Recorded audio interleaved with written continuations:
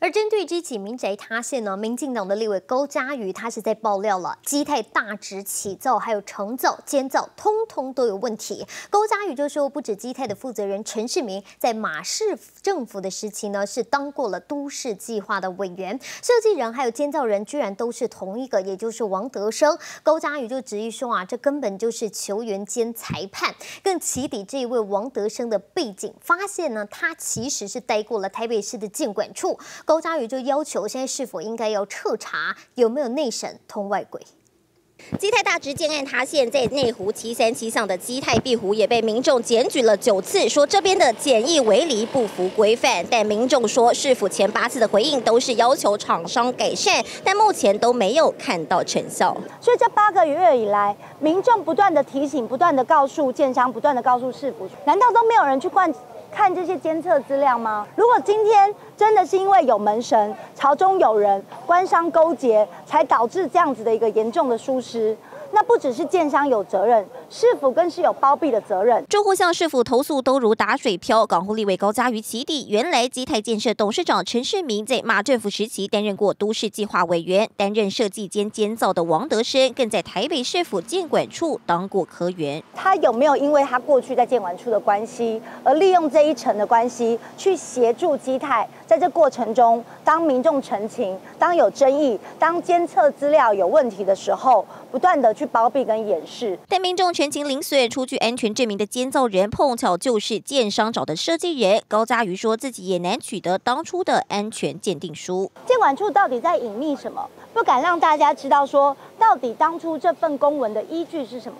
原来依据就是因为基泰建设自己找的技师，自己找的监造，自己人当然球员兼裁判。那如果民众不服的时候，这时候呢，必须要由民众自行负担费用。来找第三方公证单位。基泰大直预售最高一平一百四十四万，基泰碧湖一平也得一百零七万，工程品质却已经被打上问号。那个已经登出来了，那个没有什么信用了的，没有什么好关系，那离那么远。临近住户看法两极，但基泰承造商福益营造也才刚因零损案遭提告球场一千五百万，是否得赶紧补破网，避免再出现类似情况？这是朝天江国峰采访报道。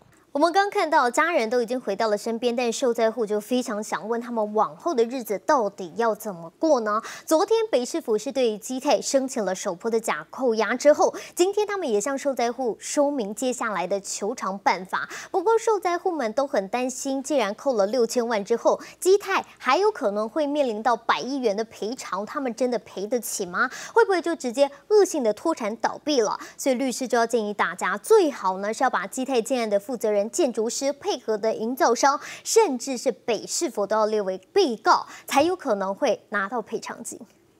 基泰建设施工出包，造成两百多户人无家可归。接下来受灾户该如何求偿？市府法务局向住户说明最新进度。我们的想法是，最好是得到补偿啊。住户还是忧心忡忡。虽然周六晚间市府已赴北院申请假扣押基泰财产六千一百九十五万元，但由于业者态度持续消极，不排除第二波假扣押会破亿元。呃，这个还没有办法确定，因为要看看他们的受损金额，这是必须要由住户提出来。是。毕竟，虽然先扣了六千多万，但基泰接下来面临的恐怕是数十亿的球场。这波风暴撑得过吗？受灾户也担心，接下来基泰建案恐怕没人敢买，财务肯定陷入危机。从跳票到恶性倒闭，不是不可能。那住户不就等于球场无门？二十五户，不管是基泰他们自己要这个盖回去还他，还是市政府的公办都跟。他都全力配合市政府来办理，就怕告赢了拿到的赔偿也有限。有律师建议住户要谨记一步二要：基泰的合作意向书千万别签，不只要假扣押负责人、建筑师、土木技师等人的财产，除了他们，最好也向北市府列为被告，才有可能拿到更多赔偿金。所以其实是会建议，包括承办案件的建筑师、设计的这个建筑师事务所，又或者呢是承包的这个营造商。本身可能都有一定的经济能力，也都可以来列作求偿的对象。除了受灾户购买基泰其他预售屋的民众，也是潜在的受害者，但要退订却几乎不可能。消基会也呼吁政府尽速修法，每一位受害人都要该负责的人负起责任。记者蔡杰、余若为台北采访报道。